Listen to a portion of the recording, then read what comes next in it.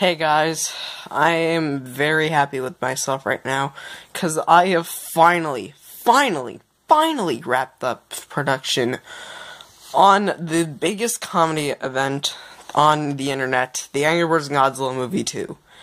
Now, if you don't know what that is, what are you doing here? Okay, but to be honest, the movie, I finally finished it.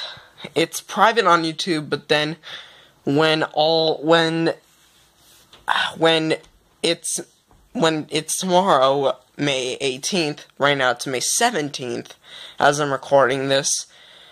I'm going to I'm going to pretty much upload every part, unprivate them to the public and see how it does.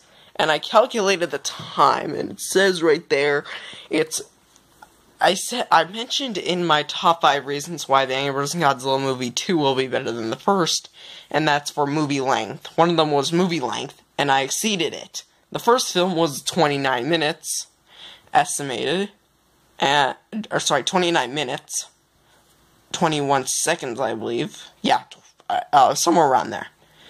And this film is 43 minutes and 31 seconds. I am happy with myself right now. Not to mention, I also had to write script, screenplay, and then storyboards and all that.